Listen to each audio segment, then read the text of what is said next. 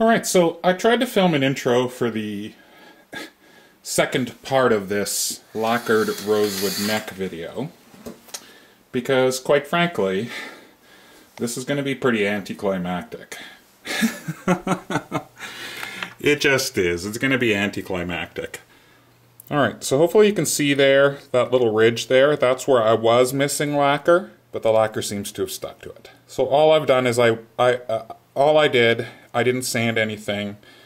I'm sorry I didn't film it, but all I did was wipe, wipe the entire fingerboard down one more time with a little bit of naphtha and a tack cloth just to see if it was a contaminant that was causing me grief there, and it seems to have been, because the lacquer immediately stuck to all those little areas that it hadn't been.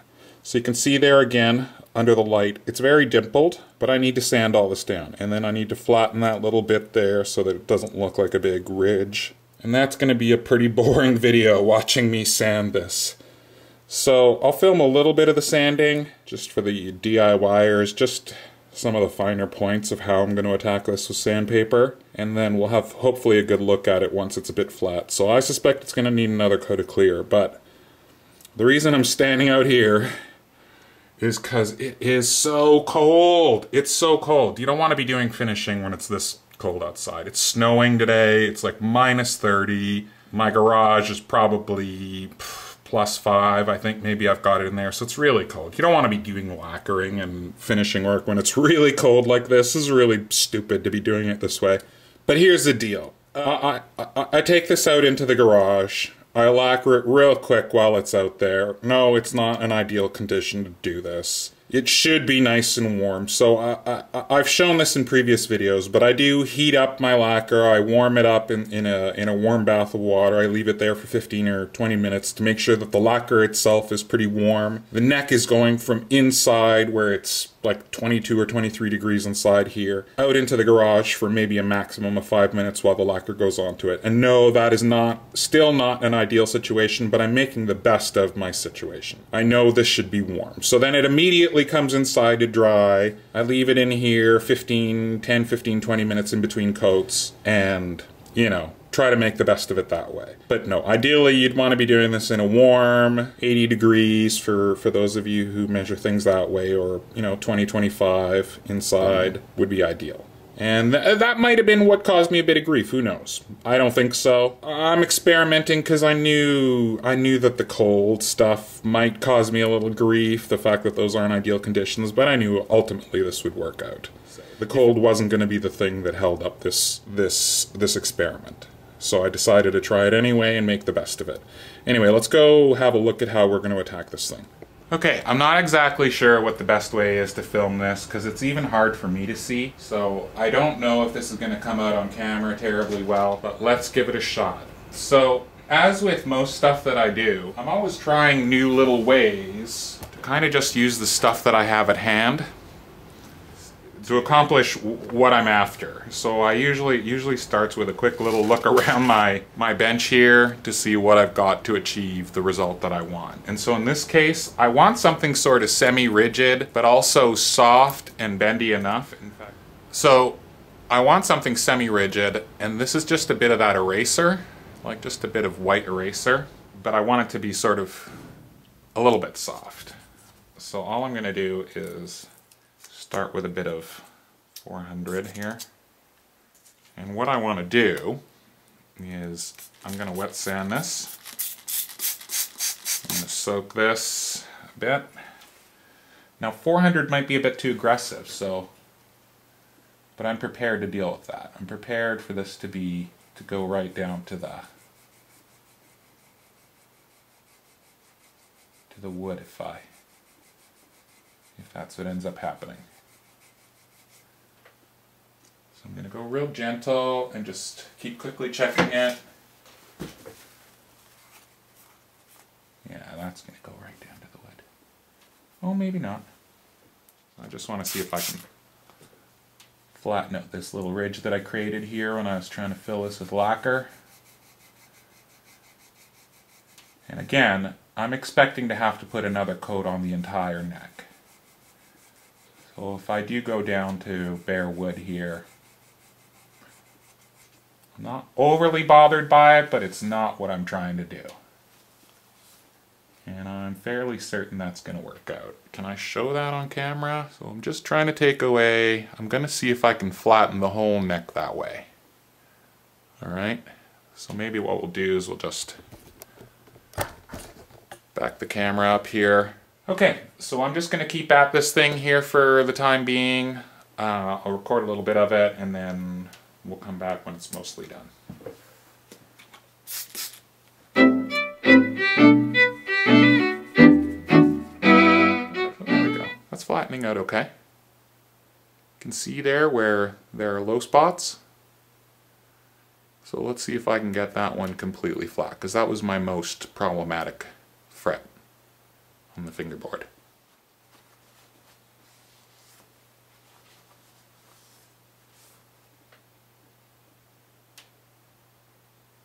Sweet. That's actually working out. We're getting there. We're getting there. That's going to need a bit of work and uh, definitely another coat of lacquer, but if I can flatten that out, I think I'm golden. Because it doesn't seem to be flaking off or doing anything weird. It seems to be reacting the way it should. This has been drying for about three, four days now. So, I'm just going to keep at it. We'll turn the camera off. You get where I'm going with this. And I'll come back and see if I can hopefully do this whole fingerboard.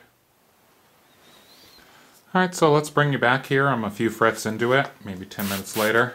And uh, it's turning out the way I want it to turn out. Now, I should warn you, I'm trying to give you a bit of a bird's eye view here of what I'm doing. And I don't know how well that's working out.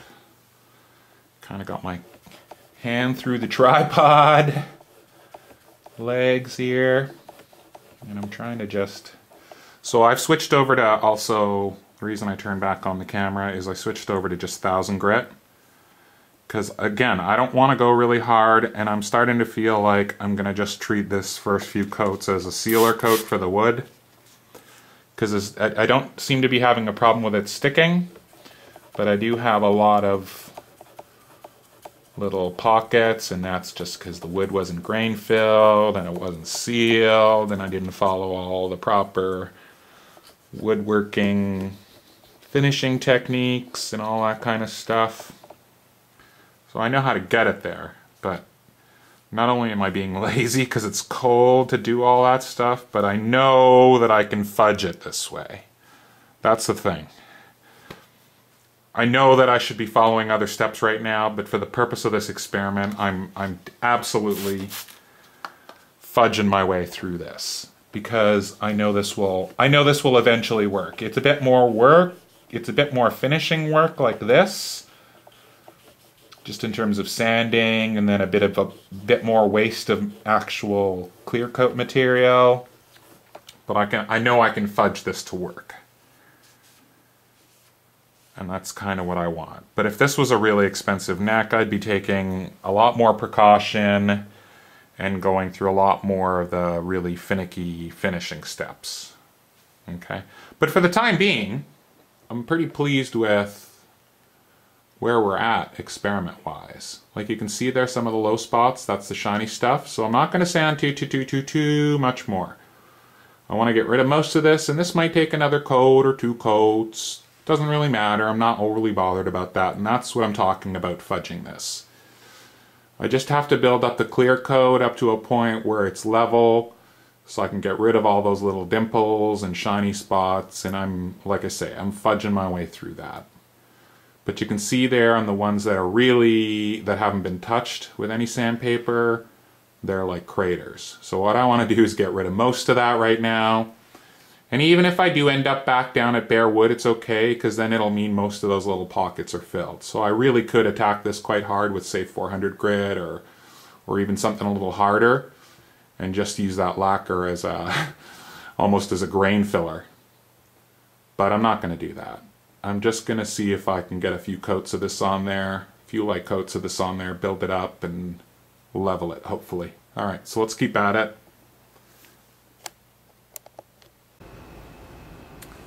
Alright, so we've gotten our way a little ways down the fingerboard there.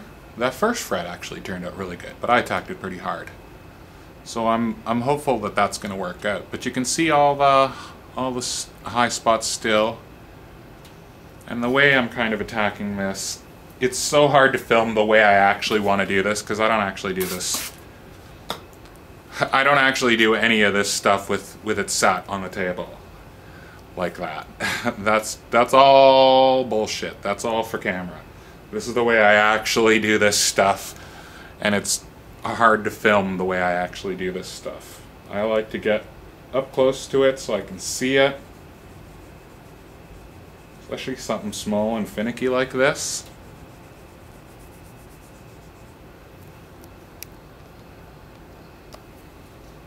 And this is the way I act. This is the way I actually am dealing with this. Now, I, I should also mention that I like to fold up, that's going to be hard to see, but I like to fold up a piece of this, like say if I'm using 1000 grit, two, three, four times over itself. So it creates a little bit of a cushion so that there's less likelihood that my fingers um, are, are sanding ridges into it so that this is a bit, it's a bit stiffer and a bit more like, a, um, anyway, it just I find that it reduces the risk of me putting finger like when you have to use your fingers that it reduces you putting those ridges. So if you just keep moving back and forth with this, it creates a little cushion that the whole thing rides on and it just makes it easier to use. So it's a bit straighter, a bit flatter, a bit truer. It's not ideal, but sometimes when you can't get something straight in there and you just need to use your hands, you just you need to be creative about what you're doing. And I find that just rolling it over two, three, four, five times stiffens the paper up enough that it kind of glides nice and straight. And also creates a nice cushion that you want when you're doing small stuff like this. So there we go. That's starting to come out not too bad. Anyway, I'm just going to keep at it here and bring you back when all this is done. All right, last few frets here. Tell you what, this is tedious. Tedious. But we're almost there. So, just keep folding over my little bit of sandpaper. Just whatever works. It's nice and rigid. So it's running flat and true, kind of and it makes it easy to use. And it's conforming nicely to the surface without the end of my fingertip digging into the fingerboard. It's just riding on a nice little cushion of folded over sandpaper.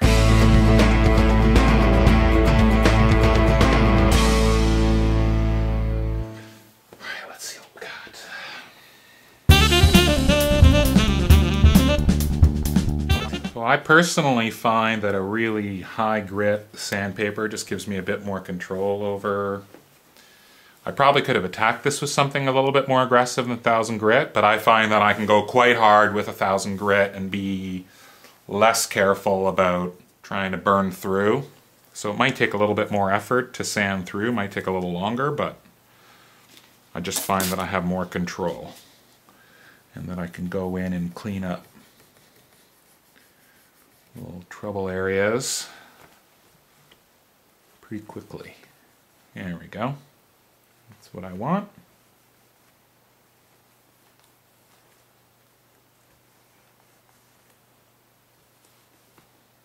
All right, I think we're good. Bottom half of the fingerboard, the bottom, bottom half of the fingerboard turned out way better than the top half. It's way less full of ridges. So maybe I'll attack the top half a little bit more here because I'm kind of starting to feel like I should just treat this like a sealer coat and get this as absolutely fat, flat as possible to avoid having to waste too much more material lacquering this because it feels like it's going to work. So I'm going to see if I can get most of the really big dimples out of these top frets.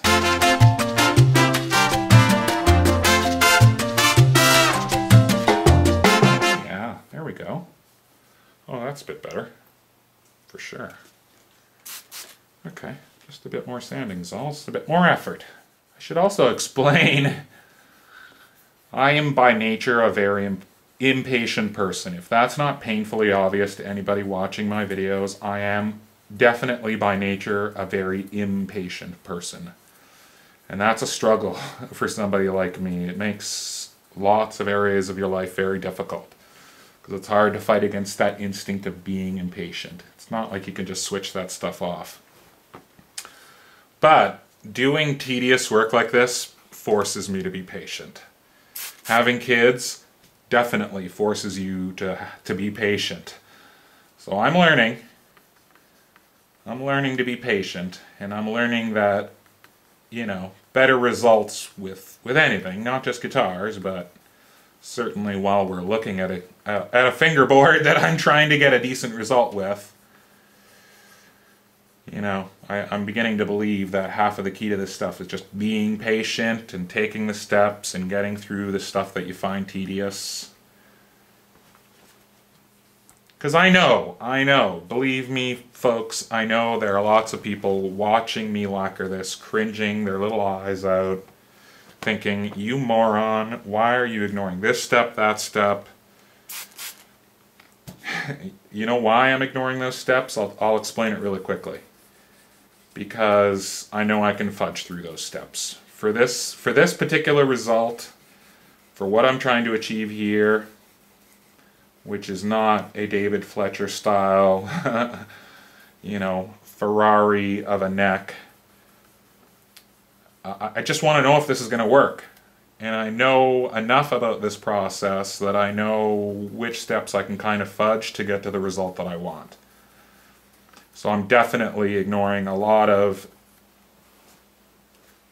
finishing, you know, proper finishing etiquette.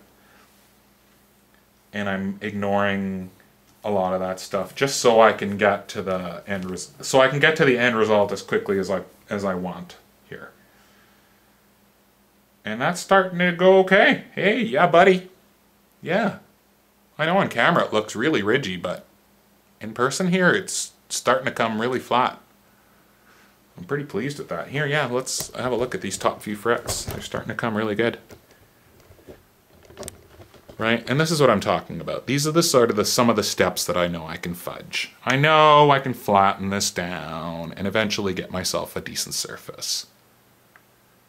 But yeah, starting to come out okay.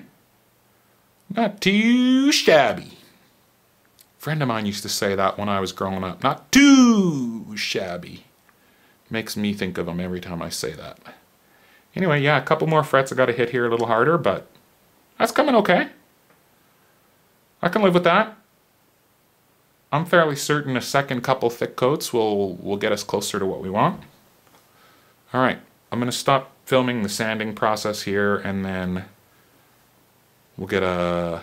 I'm to clean this up that's the other step I forgot to show in my last video. I definitely have to leave this in the video. So after I was finished all this work the last time, and now that I'm gonna re-lacquer it, I'm definitely cleaning the neck. I realize that I forgot to film that last time, but I'm certainly coming back in here with the naphtha. We're gonna clean away all this residue really well because we don't want any of these contaminants left over for the for the new lacquer to stick to. We want this surface to be as clean.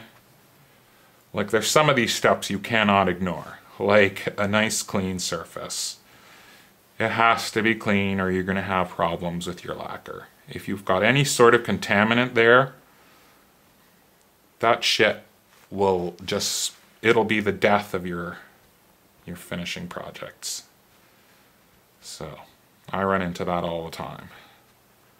So I try very, very hard now after many failed attempts at refinishing projects. This That's the one really hard lesson I've learned is you have to have a super clean surface for your material to stick to. So I go over it usually a couple of times. Usually give it a really good hard scrub down and just try and get into every little nook and cranny where you want material to stick and give it a really good clean. And then the final step after this, of course, is just wipe it with a tack cloth so that anything you're using from this sort of cloth, any fibers that are stuck to the, those won't be in there contaminating your, your finish as well. So this was super important and I'm super embarrassed that I left this out of my last video because this is, if you don't do this, if you skip this step, you're hooped. You're going to end up with just utter junk. So clean it, follow, definitely don't follow my advice. I'm no finishing expert. I'd watch, uh, there's a really good guy in Australia, Mighty, he's kind of did a play on Mighty Car Mods. I think it's Mighty Finishing or Mighty Painting Mods or something anyway. I've learned a lot of stuff from him. So check out some, if you're interested in this stuff, check out some people doing real finishing work and follow their steps. But for the purpose, purpose of this, this is not really a DIY how-to. This is more, is this going to work? And of course, if it works, then if you're into finishing stuff, go off and investigate how to do this properly. Because I'd love somebody, I'd love to see somebody do do this properly. I know I'm doing this half-ass. I get that. But as I've said here a few times now, I just want to see if the end result is going to work. And I kind of feel like I know which steps I can fudge to get there. So let's get another coat of lacquer on this thing uh, now that it's clean. And we'll come back down and have a look at it. All right, back out here in the semi-warm garage. You know how sometimes you can overthink simple solutions to simple problems? There we go. I went through all that rig the other day to hang this thing up and all I had to do was just hang it there. Alright, I'm going to try and bring you in here for a little bit of a bird's eye view of what I'm to do here. I'm to risk getting clear coat on my camera. I don't want to, but uh, I feel like it's the only way I can actually show you what I'm to do here, how I'm going to attack clearing this. All right, so we're, I don't know, 10, 15 minutes later. That's been warming up in a nice simple bath of warm water, which we can just let out and give that a good shake. It's nice and warm. And we'll bring that into the garage. All right, I'm gonna hold this with my left hand give this a good shake. And the reason I wanna film this part is because I'm gonna go across like this because I felt like I wasn't getting a lot of lacquer up close to the, the actual frets themselves. And you can see there, I think I've gone down to the wood, but that's all right. So here's hoping, fingers crossed, that the lacquer sticks to that. So this is getting warm. I'm gonna do this while it's warm. I'm gonna stop talking.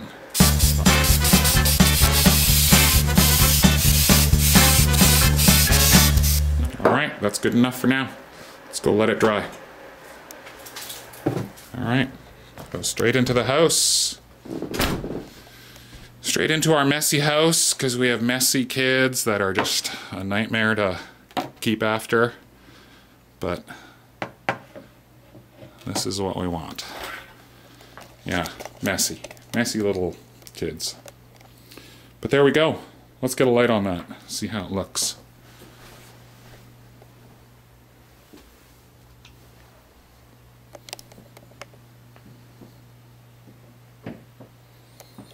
Jesus, those kids are messy. I gotta clean up today.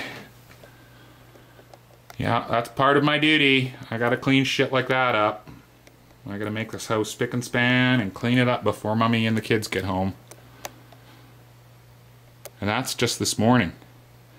But anyway, let's have a look at this neck. Yeah, I think that's gonna work out. Sweet. Nice. Alright, so I'll let that dry for a bit and then we'll get another couple of quick coats on her. I'll let that dry for 15 minutes. Let's go check out my treble area. See if the lacquer's sticking to that.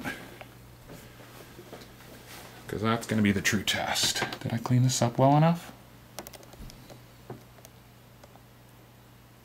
Yeah, I think we're good.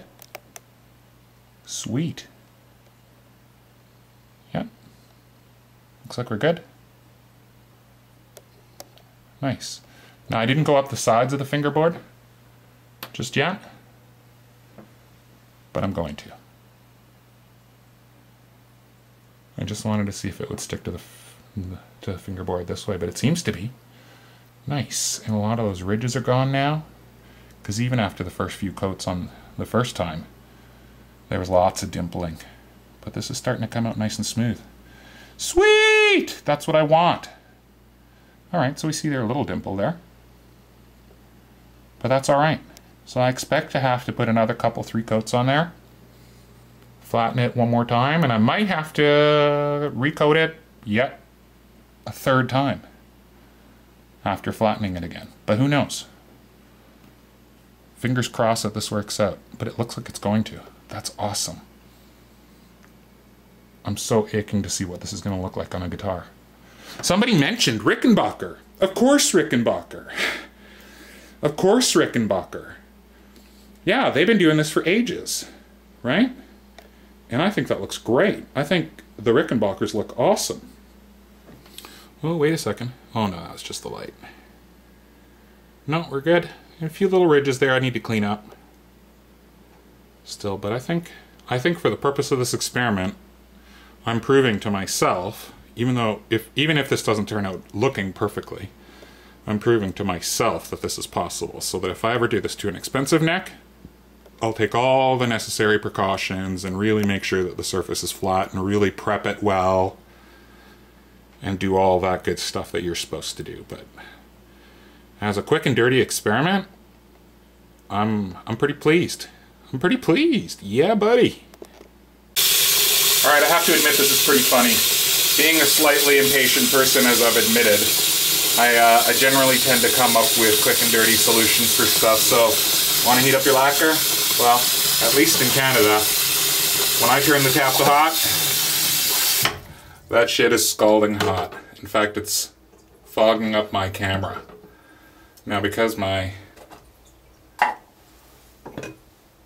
There we go. Alright, let's clean off my camera. Can we see that again? Alright, there we go. So you can see there, scalding hot water from the tap. Leave that for 10 or 15 minutes off you go. Don't forget to clean the sink when you're done so your wife doesn't get pissed off. Hmm. Well, I know there's lacquer stuck to that, but that's not encouraging. We're about 20 minutes later. Everywhere else is fine. Everywhere else. So I suspect whatever contaminant was in here is still in here and I might have to scrape that all the way back right to the wood to deal with that. But at the moment I'm gonna go and try and spray some lacquer on the sides.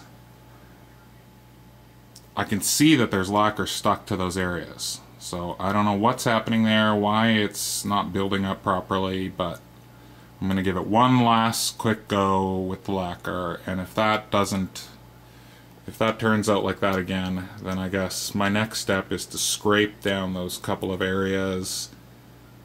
Well, this entire fret. I'm going to do probably scrape down this entire fret, maybe this one, and everything else is fine.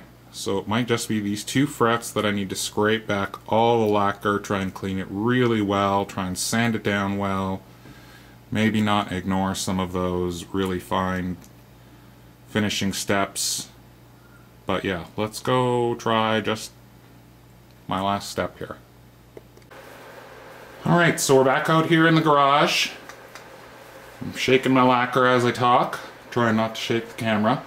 But it's really funny, out here in the garage, everything looks really good. Like I can tell that the lacquer is stuck to those areas. It was really hard to film under that light, the really bright light, but oddly out here in the really shitty light, you can actually tell that the lacquer is stuck to everywhere on the neck. So I'm hopeful that with one final coat, I know there's a huge ridge there I'm going to have to sand off that second fret and a little bit of the third fret. But I'm hopeful that now I'm going to get a bit closer. So one last attempt.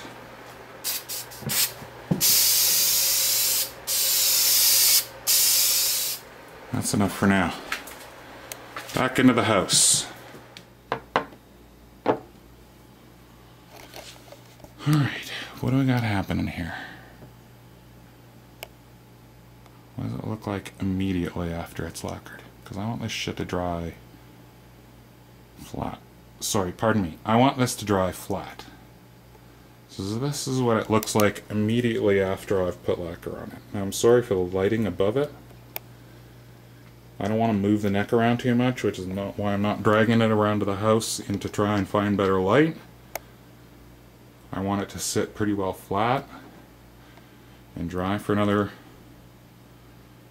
15 or 20 minutes before I touch it or do anything to it. Well, I'm not going to do anything to it, but I'm fairly certain I'm not doing any more lacquer. That was that was the last bit of lacquer attempt to try and save these two frets as they are. As I said not too long ago here in the video, if that comes up the way it's been coming up, I guess I'm just going to bite the bullet, scrape these two right back to the wood as cleanly and flatly as I possibly can, and then try and re-clear just those areas. So, it's an experiment. I expected not so good stuff to happen.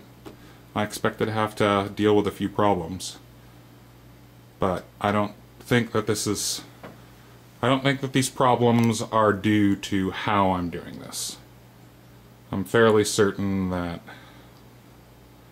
I was dealing with some sort of contaminant there and that the rest of the fingerboard isn't going to cause me any grief.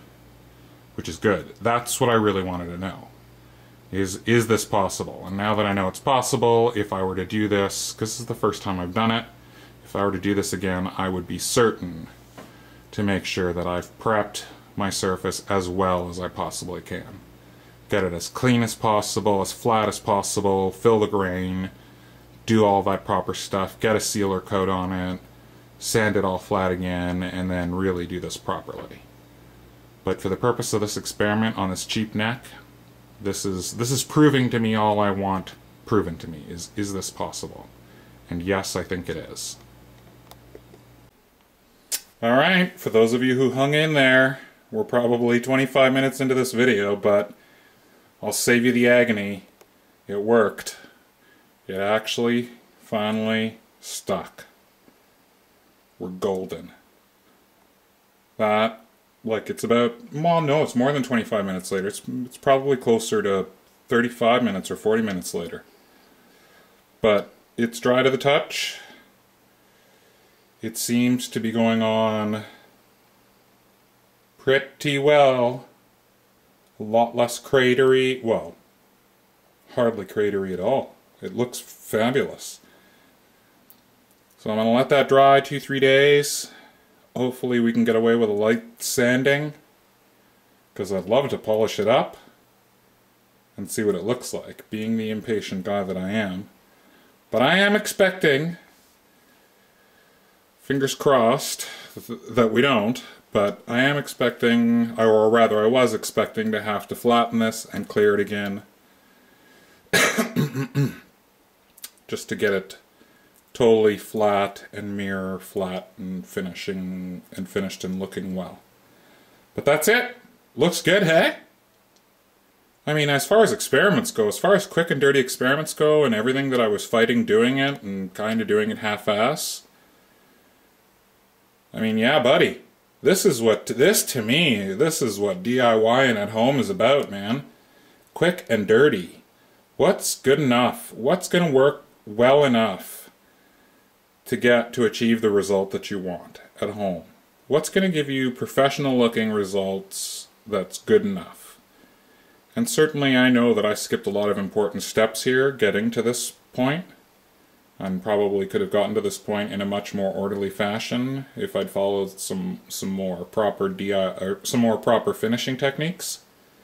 But you got to admit, for the half-ass way that I did this, the super DIY attempt to get this to work, it turned out alright.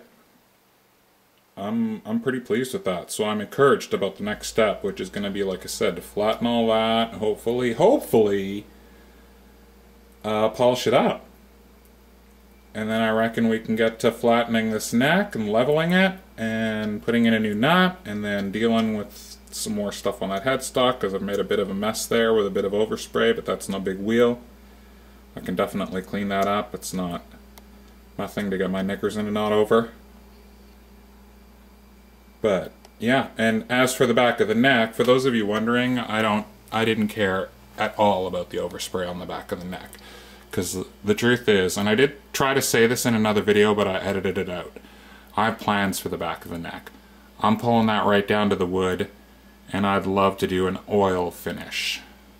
Just all over the entire back of the neck.